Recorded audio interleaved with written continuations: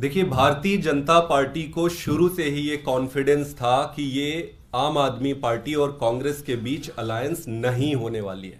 और ये बड़े खुश थे इस बात से कि इनका अलायंस नहीं होने जा रहा है। पिछले कुछ दिनों में आपने देखा होगा कि अलायंस की बातचीत अलायंस की चर्चा काफ़ी अच्छे तरीके से प्रोग्रेस हुई है और लगभग लगभग अलायंस अपने फाइनल प्रारूप में पहुँच गई है। ये सुनते ही भारतीय जनता पार्टी शौक में आ गई। उनकी सारी जो खुशियाँ थी वो टूट गई।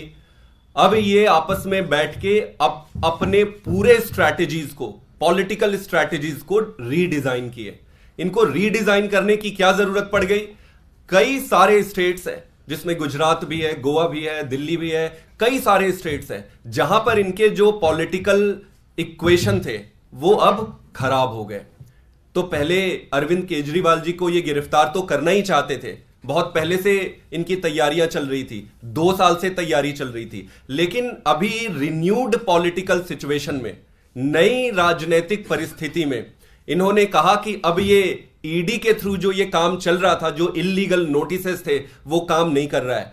तब अब ये सीबीआई को सामने लेकर आए हैं और अब सीबीआई के माध्यम से माननीय अरविंद केजरीवाल जी को अरेस्ट करने की प्लानिंग कर रहे हैं। जैसा कि सौरभ जी ने बताया कि 41 ए सीआरपीसी के तहत उन्होंने अपना प्लान बनाया है और अंदर ही अंदर कई लोगों के माध्यम से यह मैसेज भेज रहे हैं कि आप अलायंस छोड़ दो।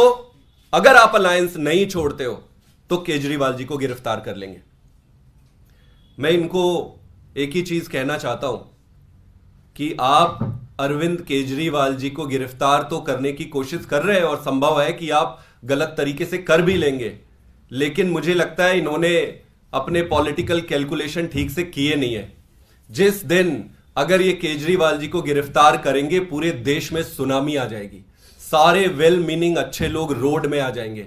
और इनके सारे पॉलिटिकल कैलकुलेशन जो इनको लग रहा है कि केजरीवाल जी अंदर जाएँगे तो पार्टी टूट जाएगी, ये उल्टा पड़ने वाला है। जो भी इनके पॉलिटिकल पंडित है, मैं ये कहूँगा कि अपना कैलकुलेशन ठीक से करो पहले दूसरी पार्टियों से तुम्हारा पाला पड़ता रहा होगा, अब तुम्हारा पाला अरविंद केजरीवाल से पड़ा है।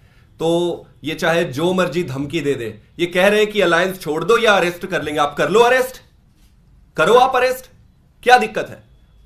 हम ऐसे अरेस्ट से, ऐसी धमकी से डरने वाले नहीं है। अगर डरते तो हमारे इतने सारे नेता जो आज जेल में हैं, अब तक हम सरेंडर कर दिए होते। हमने हमारी सारे मिनिस्टर, सारे बड़े बड़े लीडर जेल में हैं। इन्होंने पार्टी को खत्म करने की कोई भी कसर नहीं छोड़ी है। जब हम यहाँ तक आज तक नहीं डरे, आगे भी डरने वाले नहीं है। हम देश के लिए अलायंस में जा रहे हैं। अलायंस हम अपने पर्सनल गेन के लिए, अपने प्रॉफिट के लिए नहीं जा रहे। देश के लिए जा रहे हैं। देश के लिए खड़े थे, खड़े रहेंगे, लड़ते रहेंगे और संघर्ष करते रहेंगे। Atishi if you have some Z News.